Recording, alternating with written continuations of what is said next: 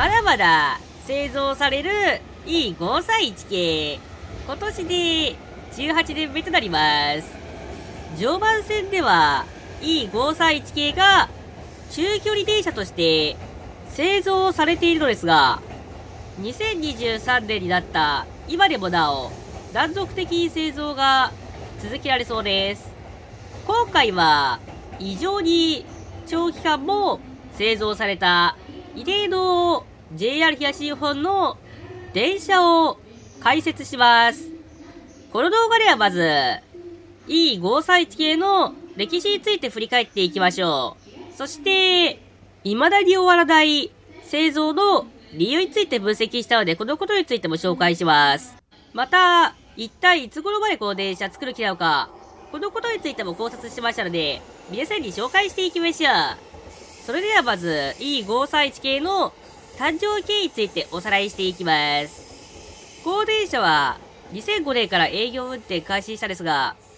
この電車は主に従来車の大体が大きいでしょうね。また高速化についても結構理由があって、いろいろ強化されています。特にスピードの面では、つくばエクスプレスの対抗と特急電車の高速化、この二つの観点が非常に大きいんじゃないかなーって思いますね。まず電車についてですが、まあこれはしょうがないですね。当時走っていた415系の初期の電車やさらに古い403系とかそんな電車がですが、こういった車両、もう古すぎて構成車体で結構ボロボロでした。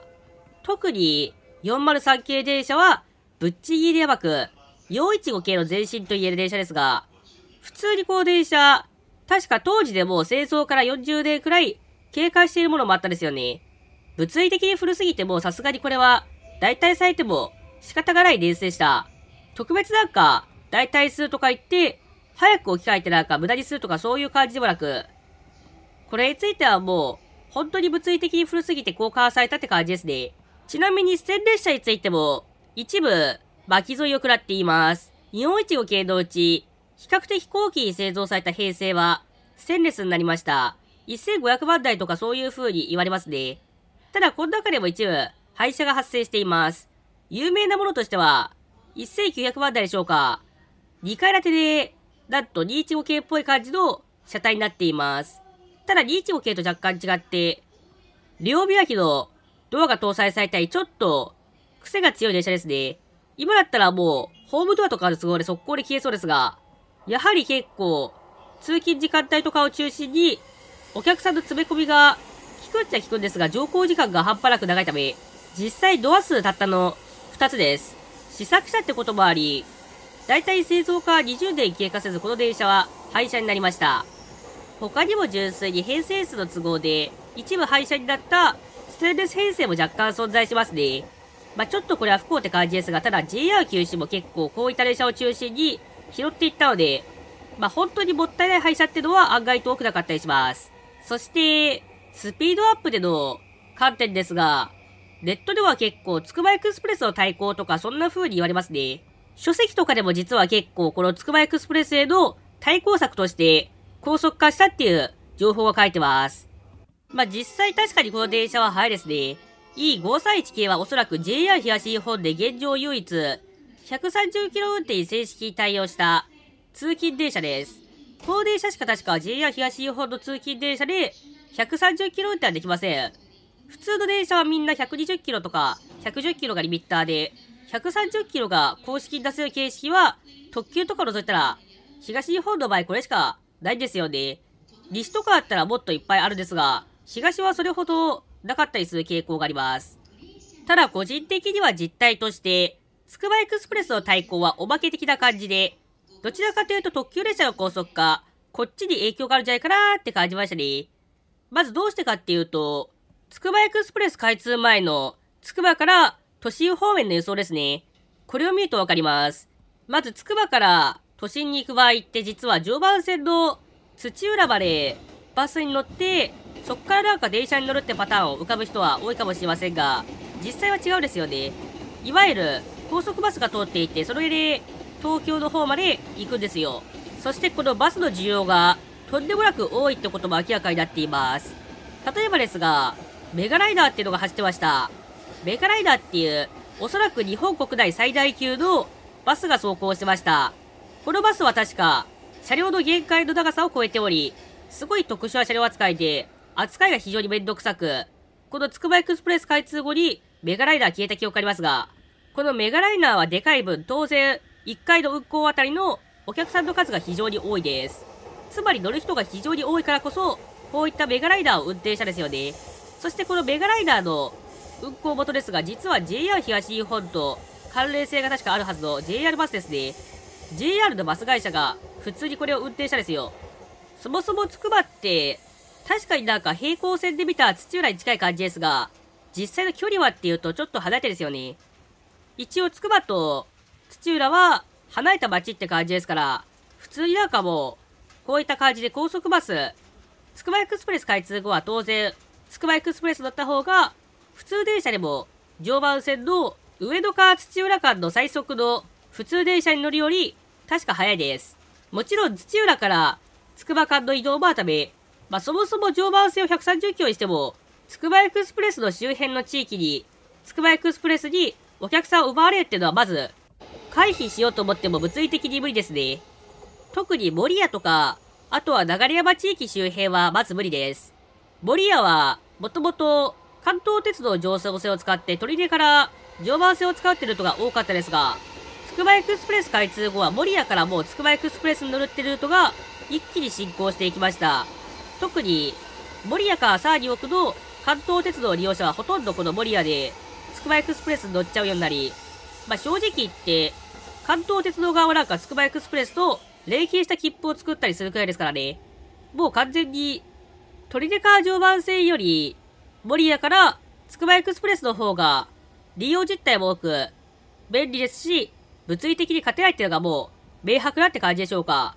確かにつくばエクスプレス開業に合わせて導入する会場電車なんで、こういう風になんか、早くしたって言ったら結構ピンときやすくわかりやすいですよね。実際あの路線も130キロ運転しますし、まあそういったことを大々的に PR すると常磐線も速いってイメージをつけることはできるでしょう。ただ一方、正直言って、対抗したところで、そもそも論勝てる相手ではありませんから、まあ実際利用者は2005年から2006年かけて若干減ったっていう話もあります。一応、つくばとかその周辺のエリアについては、あんま変わらなかった記憶ありますが、やっぱり、上層線から取り手の乗り継ぎや、あとは流山周辺が若干減ったかもしれませんね。まあそんな感じで、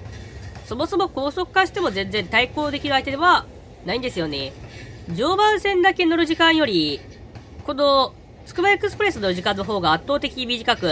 しかも通勤定期の場合は結構会社負担なんで、つくばエクスプレス特有の高額の運賃は、そんなに問題にならないっていう説もあります。まあ、実際今現在つくばエクスプレス利用者非常に多いですよね。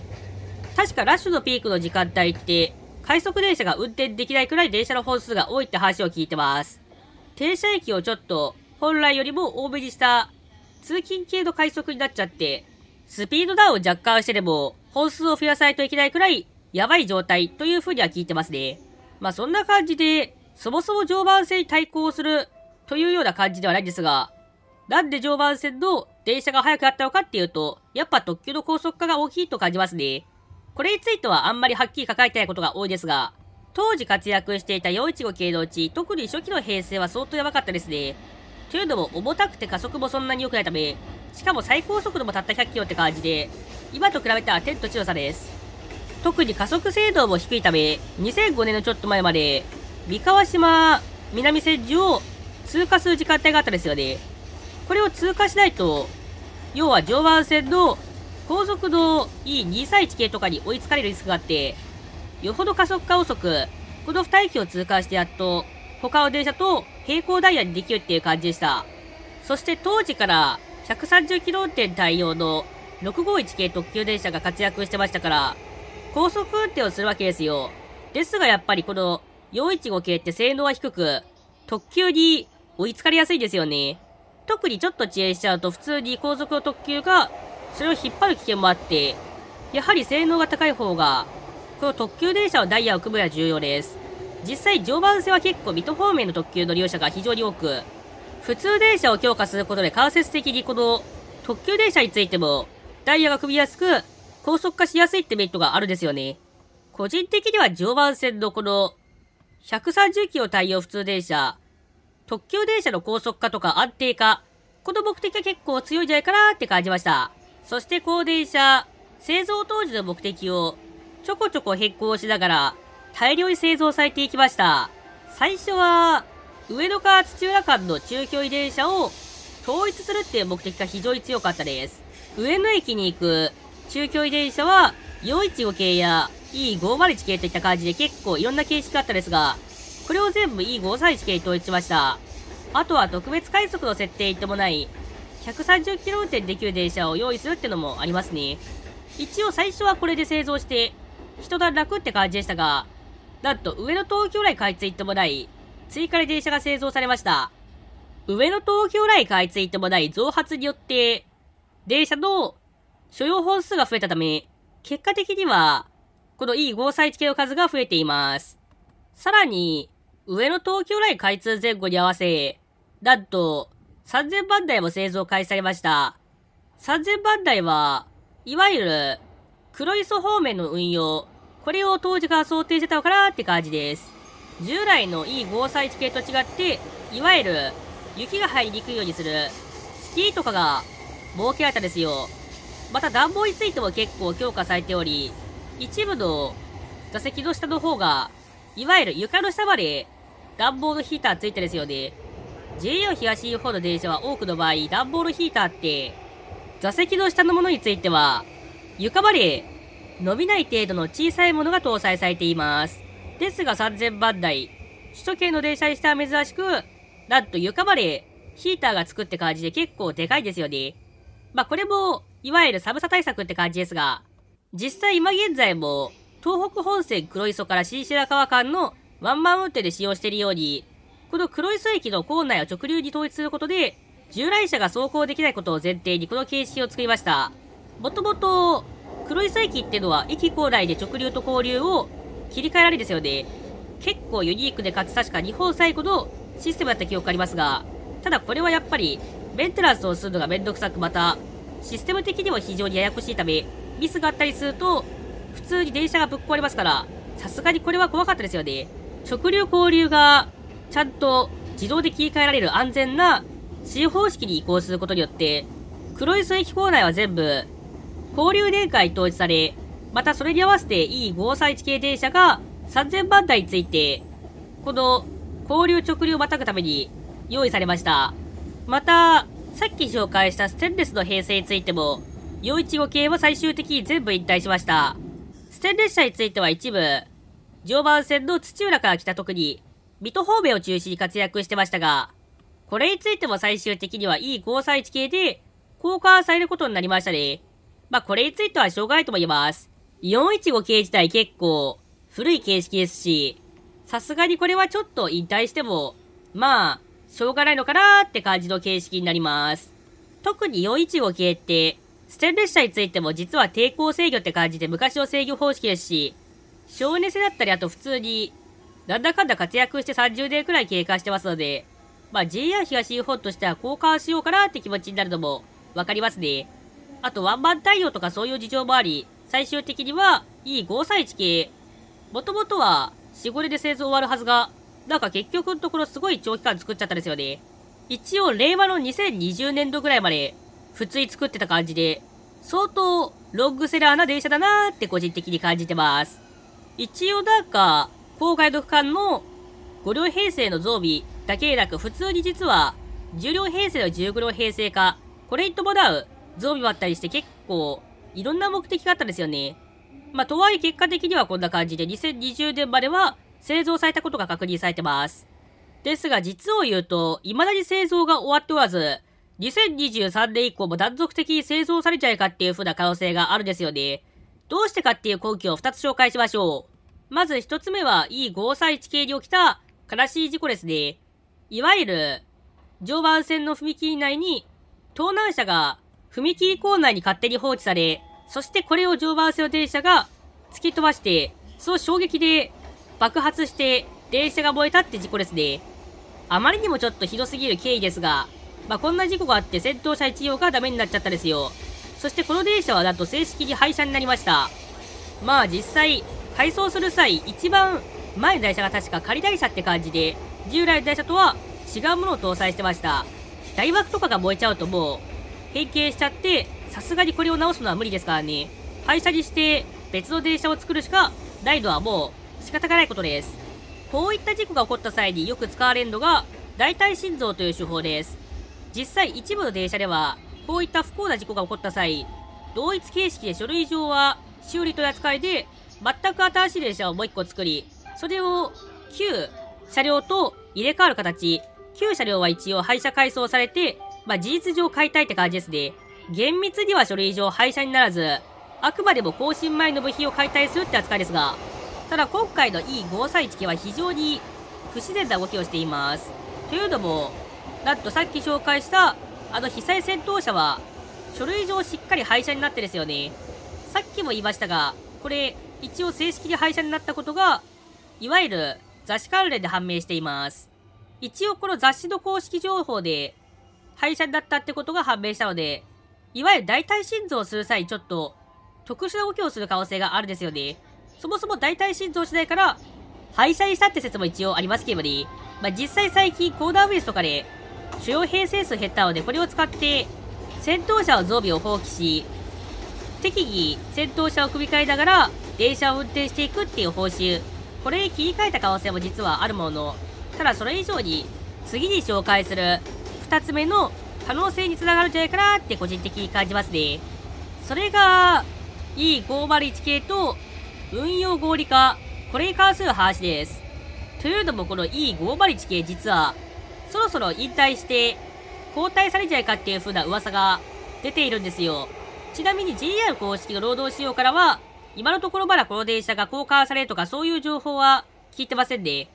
ただし、この E501 系電車、編成数が少ないですよ。5両編成が確か4本、気泡編成、重量編成も4本ですから、ちょっと少数形式となっています。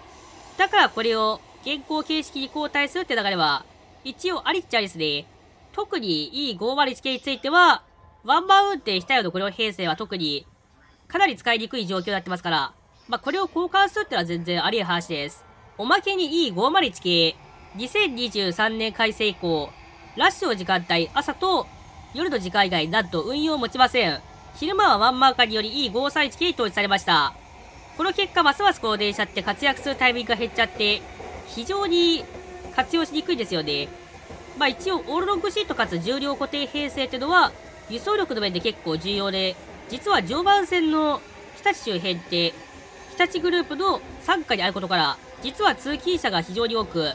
この重量編成のロックシートは意外と役に立っているもの、ただやっぱり運用を組む上では、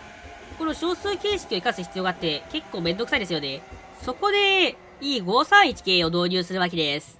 編成数が実際そんなに多くないため、まあ、少数のまとまったグループの製造ですから、E531 系という従来の形式に合わせて作る可能性が高いと感じますね。もちろん E533 系とかそういうの作ってもいいかもしれませんが、